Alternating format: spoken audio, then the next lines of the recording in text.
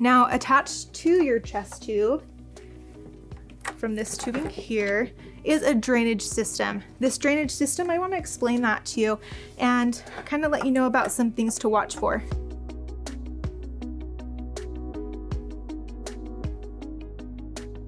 First off, all of your connections on your tubing, they need to be either taped or zip tied.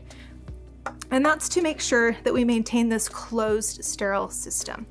Now, there's two attachment sites.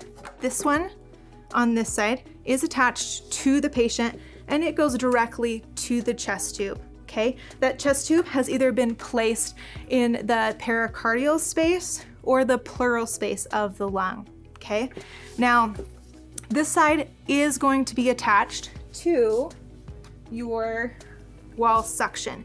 You wanna make sure that you've checked the doctor's order to make sure that that's at the appropriate level. Now let's talk about the chest tube drainage system itself. It's important that you know the difference between all the different chambers in your chest tube. First off, we have chamber A, okay? That is your suction control chamber. Typically, that is filled with sterile water to the 20 centimeter line right here, okay? Now, if you have a dry system, that differs a little bit and you'll have a dial that you'll be looking at, and we'll go over that more in depth in lab. Now, moving on to chamber B. This is your water seal chamber.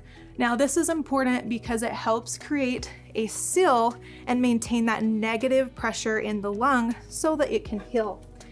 It needs to be at the two centimeter mark, right down here. The third chamber that I want you to look at is C, and that's just at the bottom of the water seal, and that's where we monitor for an air leak. Um, if we have an air leak, we need to make sure and notify the doctor. Last but not least is section D. Those chambers, it consists of three chambers and these chambers hold about 2100, excuse me, 2100 mils of drainage. And that comes directly from the patient and is collected here. We wanted to be watching that and documenting output at least every two hours, more frequently if the doctor uh, has ordered that, okay?